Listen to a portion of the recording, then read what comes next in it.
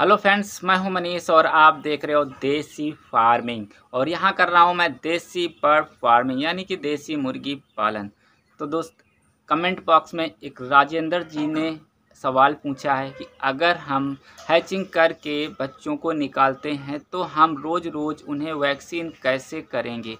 और रोज़ रोज़ एक एक चूजे को कैसे संभाल कर रखेंगे? तो यदि आपका भी यही सवाल है तो आप इस वीडियो को शुरू से लास्ट तक ज़रूर देखिएगा। मैं यहाँ पर आपको चूज़े निकालने से ले करके उनको बड़ा होने तक कैसे आपको मैनेज करना है, वो इस वीडियो में आप लोगों को बताने वाला हूँ। तो दोस्त, वीडियो शुरू करने से पहले एक छोटी सी रिक्वेस्ट करना चाहूँगा। यदि आप हमारे चैनल पर नए हो तो चैनल को सब्सक्राइब करके नोटिफिकेशन ऑल पर प्रेस करें, ताकि आने वाले मेरे सभी वीडियो का नोटिफिकेशन आपको मिलता रहे। तो चलिए, अब हम आपको बताते हैं कि किस तरह से एक एक चूज़े की देख रेख करनी है। तो अभी हम आपको लेकर चलते हैं अपनी छोटी सी हैचरी में, जहाँ पर मैं एक एक थोड़े थोड़े चूज़े निकालता हूँ और उनको कैसे मैनेज करता हूँ, सभी कुछ आप लोगों को थोड़ा सीरियल में आपको समझाने की कोशिश करता हूँ। तो दोस्तों, आप देख सकते हो कि यहाँ पर मैंने हैचिंग के लिए कुछ अंडे लगाए हुए हैं और जबकि कुछ अंडों से चूज़े भी निकल चुके हैं, ठीक है? जो पहले अंडे लगे थे कुछ दिन पहले, उनसे चूज़े निकल चुके हैं तो उन्हें मैंने इन बॉक्स में रखा हुआ है। तो यहाँ पर आप देख सकते हो कि छोटे चूज़े हैं, बहुत ज़्यादा नहीं हैं, मात्र छः चूज़े हैं तो क्या इन छः चूज़ों की देख रेख नहीं? ये छः पाँच छः दिन के या सात दिन के लगभग हो चुके हैं चूज़े ठीक है तो इनके लिए एक व्यवस्था है। यहाँ पर थोड़ा सा पानी दाना लगा दिए तो पाँच छः दिन तक इस तरह से आप बॉक्स के अंदर इनको इनकी देखभाल कर सकते हो। थोड़ा सा पानी और थोड़ा दाना इनको लगता जाता है। और इनको शुरुआत में अगर देने की बात करें पानी में, मेडिसिन में तो मेडिसिन जो है वो मैं आपको दिखाता हूँ कि कौन सी मेडिसिन मैं इनको दे रहा हूँ। तो दोस्तों, जब शुरुआत में चूज़ा निकलता है तो हम उसे विमरॉल देते हैं, ठीक है? तो शुरुआत में आप इनको विटामिन दीजिए, विमरॉल करके विटामिन आती है, इसके अलावा और भी विटामिन आती हैं। तो आप इन छोटे चूज़ों को दो दिन, तीन दिन शुरुआत में आप इनको विटामिन दे दीजिए। इसके अलावा, यदि आपका इसमें स्पेस कम पड़ रहा है, कि आपको लग रहा है कि इसमें स्पेस कम है, चूज़े ज़्यादा हैं तो आप थोड़ा सा बड़ा बॉक्स का यूज़ कर सकते हो। इस तरह के बॉक्स का यूज़ भी कर सकते हो। ठीक है, गत्ते का बॉक्स हो, बड़ा होना चाहिए थोड़ा सा तो इसमें भी आप कम से कम दस दिन, आठ दिन, पंद्रह पंद्रह, बीस चूज़ा तक आप इजीली दस दिन, पंद्रह दिन तक रख सकते हो।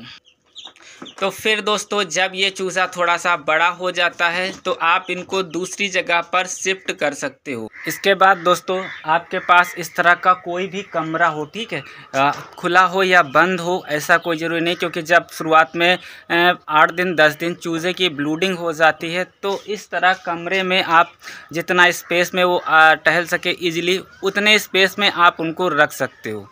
इसके बाद में जब यहाँ पर भी जगह आपको कम लगने लगे या फिर आपको लगे कि बर्ड हमारा बड़ा हो चुका है तो अब उसको आप दूसरे फार्म में आप उसको शिफ्ट कर सकते हो। तो दोस्तों, जब चूज़ा निकलता है तो शुरुआत के 10 दिन या 15 दिन, यदि ठंड का सीज़न है तो 15 दिन तक लगभग आपने बॉक्स के अंदर ही उसकी ब्लूडिंग कर ली। और यदि गर्मी का सीज़न है तो 8 से 10 दिन आप उसको बॉक्स के अंदर रख सकते हो। उसके बाद में आप वहाँ से इनको दूसरी जगह आपको शिफ्ट करना पड़ेगा, जहाँ पर उसका टम्परेचर थोड़ा सा कम हो जाता है। अगर ठंडी में बात करें तो टम्परेचर थोड़ा ज़्यादा होना चाहिए। तो टम्परेचर जो है, वो इनका लगभग 25 से 30 के आसपास इनका टेम्परेचर होना चाहिए रूम का, जहाँ पर भी आप बर्ड को रख रहे हो।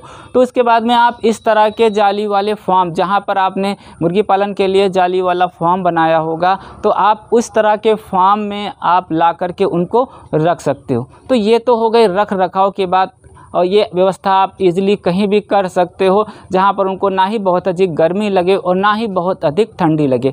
अगर अब बात करते हैं कि इनको मेडिसिन हमें किस तरह से देना है तो दोस्तों, पहले ही मैंने एक ऑलरेडी वीडियो बना रखा है, जिसमें मैंने आपको एक दिन से लेकर के बड़ा होने तक एक दिन से लेकर के चूज़े को बड़ा होने तक कैसे पालते हैं, सभी कुछ उसमें हमने बताया हुआ है। उस वीडियो का लिंक मैं डिस्क्रिप्शन बॉक्स में दे दूँगा। आप उस वीडियो को, इस वीडियो को देखने के बाद आप ज़रूर देख लीजिएगा तो आपको समझ में आएगा कि बर्ड को हम किस तरह से शुरू से लास्ट तक पालते हैं। तो चलिए, अब हम आगे बात करते हैं मेडिसिन की, कि हमें उनको मेडिसिन किस तरह से देना तो देखिए, जितनी भी आप मेडिसिन उनको देते हो, एक लिमिटेड मात्रा में एक बर्ड के हिसाब से जितनी मेडिसिन देनी चाहिए, आप उनको जहाँ पर जितना चूज़ा रखे हुए हो, आप छोटे छोटे पार्ट में आपको रखना होगा।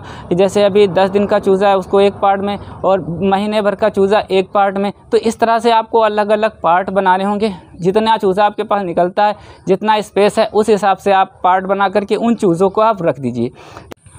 तो दोस्तों, जब आपका बर्ड और भी बड़ा हो जाता है तो आप इस तरह के फार्म में आप उनको रख सकते हो। जैसी भी आपके पास सुविधा हो, केवल उनको आपको अधिक गर्मी और अधिक ठंडी से बचाना है।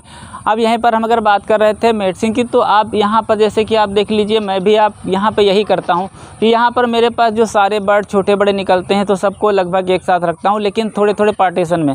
अब उधर अगर देखेंगे तो उधर अंडे वाली मुर्गियाँ हैं तो यहाँ पर बीच में पार्टीशन कर रखा है, इसकी वजह से सब अलग अलग इस तरह से आप जो भी फॉर्म है, आप उनको पार्टीशन कर दीजिए। अभी आपको चूज़े किस तरह से, बर्ड आपको किस तरह से रखने तो सिंपल सी है जो एक महीने में जो चूज़े आप निकलते हैं, आपके दस, बीस, पचास, सौ, ठीक है? तो मैं मान लेता हूँ एक महीने में जितना हमारे सौ चूज़े निकले तो उनको एक पार्टीशन में रखो। नेक्स्ट महीने में सौ चूज़े हमारे निकल रहे हैं उनको दूसरे पार्टीशन में रखो। उसके बाद में जो और नेक्स्ट चूज़े निकल रहे हैं उनको आप अलग पार्ट में तो दोस्तों अब हम बात करते हैं कि इनको हम वैक्सीन किस तरह से देंगे।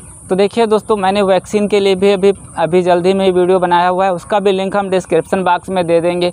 तो आप उस वीडियो को देख लीजिएगा कि मैंने कैसे वैक्सीन की है, वहाँ पर टोटल इन्फॉर्मेशन वैक्सीनेशन के बारे में दी है। वैसे तो देसी फ़ार्मिंग अगर आप कर रहे हो, देसी मुर्गी पालन कर रहे हो तो देसी मुर्गी पालन में अगर आप वैक्सीन नहीं भी देते हो तो कोई प्रॉब्लम नहीं है। आप इनको मीट के लिए ईजिली आप दो, तीन, चार महीने में तैयार करके सेल कर लोगे, कोई दिक्कत नहीं आती। एज आ कभी फ्यूचर कभी ऐसा हो जाता है कि अचानक अचानक कोई मेरी फॉर्म में बीमारी आ जाती है तो उस बर्ड को नुकसान हो सकता है। तो दोस्तों, यदि आप चाहते हो कि हमारी बर्ड जो है वो एकदम सेफ़ रहे तो आप इनको वैक्सीन कर सकते हो।